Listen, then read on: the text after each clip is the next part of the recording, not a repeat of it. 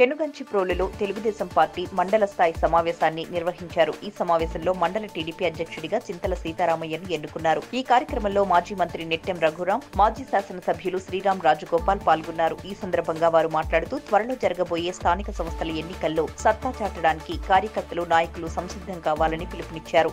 అందరూ కలిసి పార్టీని బలోపేతం చేయాలని కార్యకర్తలకు దిశానిర్దేశం చేశారు.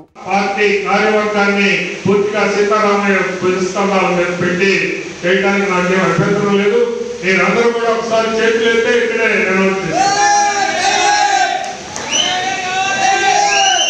ఓకే మీ అందరి మీ అందరి అభిమతం మేరకు మళ్ళా రాబోయేటటువంటి రెండు సంవత్సరాల కాలానికి ఈ పెరుగంచి ప్రోలు మండల పార్టీని భుజస్కంధాలను నిర్వహించడానికి గత అనుభవం రీత్యా మరి మీ అందరి యొక్క ఆదరాభిమానాలను చూడుకున్నటువంటి వ్యక్తిగా మళ్ళా మరొకసారి మరి సీతారామయ్య గారిని తప్పనిసరిగా భుజస్కంధాల మీద వేసుకోమని కోరుకుంటూ అభినందిస్తూ మరి తర్వాత తదుపరి కార్యక్రమాన్ని రాజగోపాల్ గారిని అలాగే గోపాలకృష్ణమూర్తి గారిని నిర్వహించమని కోరుకుంటూ మేము